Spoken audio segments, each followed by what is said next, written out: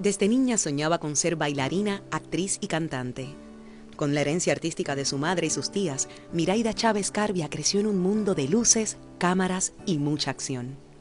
Así que desde muy pequeña comenzó sus primeros pasos en el mundo del arte, convirtiéndose en Estrellita Galaxia, en un programa junto a su mamá. Su inquieta creatividad la llevó a ser anfitriona de muchos espacios juveniles. How are you? Fine, fine. How did you like the concert last night? Fabulous? Estudió periodismo y se dedicó a la publicidad y a la producción. Con su eterna sonrisa y una chispa admirable, Miraida se convirtió en parte de nuestras familias. Su seriedad y profesionalismo hizo que se ganara su propio espacio. En Teleonce fue productora y reportera de las noticias, así como locutora de las promociones. Luego en Telemundo se unió al programa noticioso Estudio 2.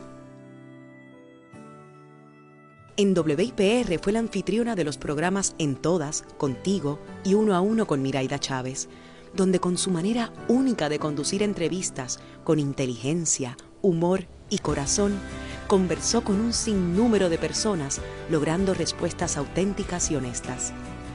También en nuestra casa fue por muchos años la voz oficial del canal.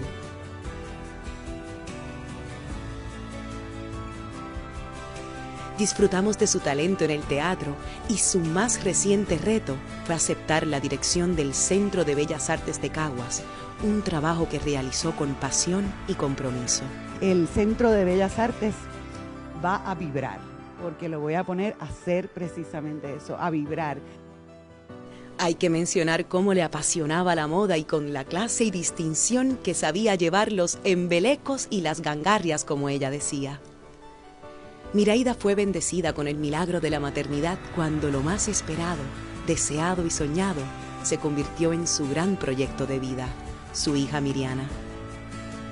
Es difícil decirle adiós a quien fue nuestra amiga, nuestra compañera y aliada en defensa de una televisión de altura. No hay duda de que te vamos a extrañar, pero siempre vivirás en nuestros corazones. Descansa en paz, Miraida querida.